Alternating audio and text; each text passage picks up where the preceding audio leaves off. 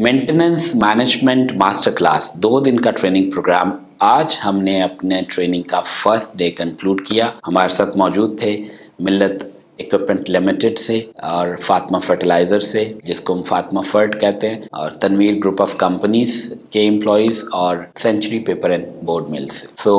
Day one पे हमने बात की मेंटेनेंस डिपार्टमेंट में कैसे गोल सेट करने हैं रोल्स डिफाइन करने हैं and how you can create motivation for you and your team to make your department up to the mark and skill sets कैसे डिसाइड करने आपने अपनी टीम के, अपने डिपार्टमेंटल अपने ऑर्गेनाइजेशनल गोल्स के साथ मैच करते हुए। और आपने स्ट्रेटजी कौन सी मेंटेनेंस की स्ट्रेटजी कौन सी यूज़ करनी है जो बेस्ट फिट हो आपकी ऑर्गेनाइजेशन के अकॉर्डिंगली जो आपकी ऑर्गेनाइजेशनल नीड्स को पूरा करे। एंड मॉडर्न मेंटेनेंस टेक्निक्स के ऊपर हम कल बात करेंगे, जिसमें digitalization of maintenance department through